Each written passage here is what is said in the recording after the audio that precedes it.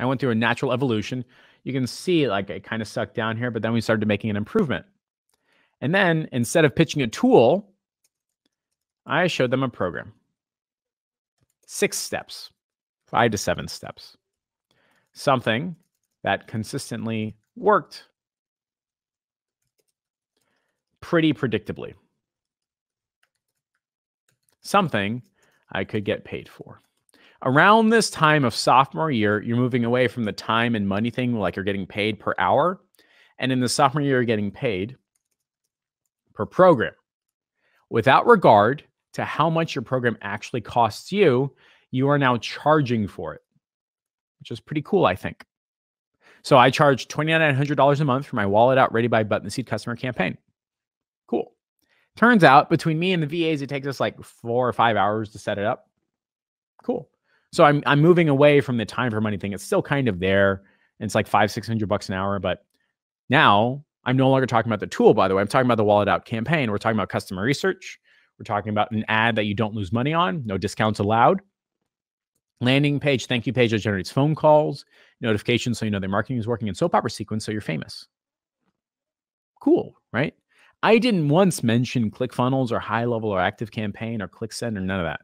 I didn't mention any tool. It's a program. And what's really, really cool around your sophomore year, you get good at pitching. Just like this. You get paid for a program and you get good at pitching, really, really good at pitching to where like people actually want to buy what you have to sell, which is awesome because now more people are buying what you have to sell.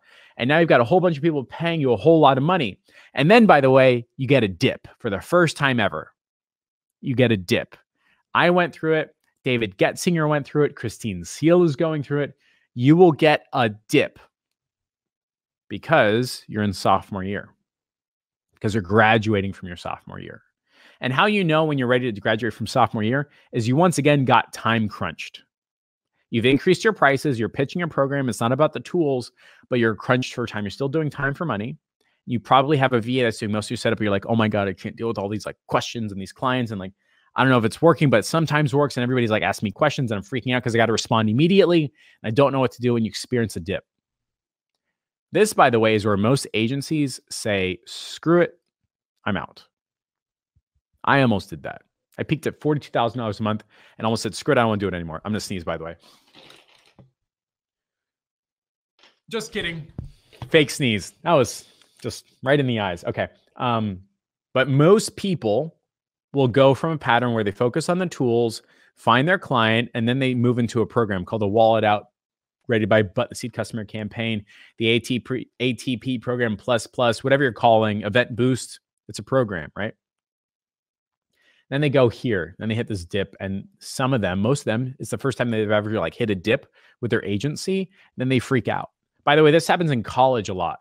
Freshman year is easy, sophomore year is easy. Hit junior year, you don't have the skills, knowledge, and abilities to study, and you drop out. Happens all the time. Most dropouts happen between your sophomore and junior year when the difficulty goes up. You can go through a transition. But we understand sophomore year.